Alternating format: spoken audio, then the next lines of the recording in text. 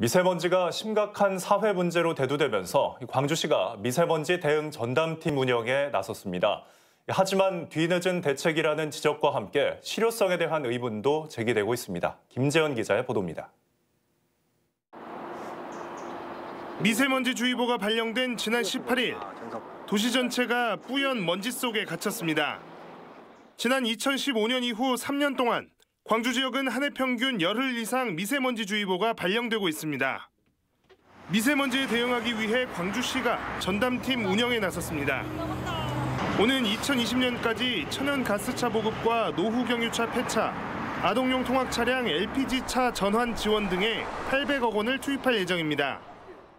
저희 시 같은 경우에 대기 오염물 질의 47%를 자동차 배출가스가 차지하기 때문에 자동차에 그 초점을 맞추고 하지만 이 같은 정책이 실제 성과로 이어질까? 탑승객을 기다리는 고속버스가 공회전을 하고 있습니다. 지난 2009년부터 금지됐지만 과태료 부과는 단 한 건도 없습니다.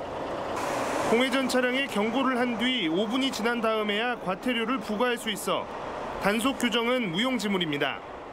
안 좋죠 냄새는 오래 맡는 거 아니니까 잠시니까 차 타면은 그 사비는자 같이 조금 날 빼고 있겠는데 광주 시내와 인근 시군을 오가는 광역버스는 대부분 경유차로 매연을 쉼없이 내뿜고 있지만 운행을 제한할 수 있는 방법이 없습니다.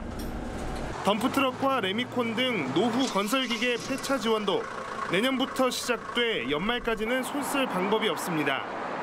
환경부의 권고나 지침을 그대로 따르기보다 우리 지역의 미세먼지 특성을 정확히 파악하는 것이 우선이라는 지적입니다. 지역에는 지역 특성에 맞는 미세먼지가 분명히 발생하는 게 분명히 있습니다. 그래서 광주 전체를 지금 현재의 측정 장소로만 이렇게 한정해서는 광주 전체를 대변할 수가 없거든요. 그래서 측정 장소를 좀 넓힌다거나 미세먼지에 대한 광주시의 대응이 시민들이 느끼는 체감과는 거리가 멀어 보입니다. KBC 김